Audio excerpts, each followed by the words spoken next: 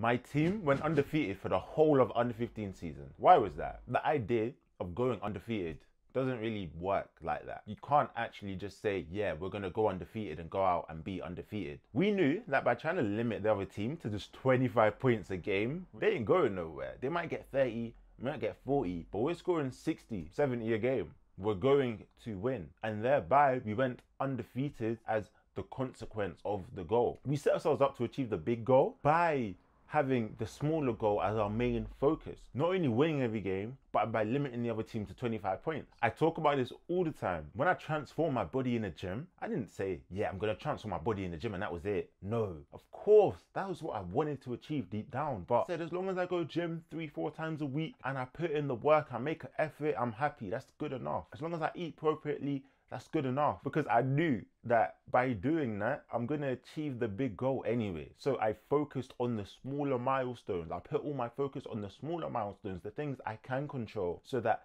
the bigger goal, the thing I really want, was a guarantee. We got to make the smaller milestones, the process, the goal, and not the huge dream. Make sure you follow me for more content like this.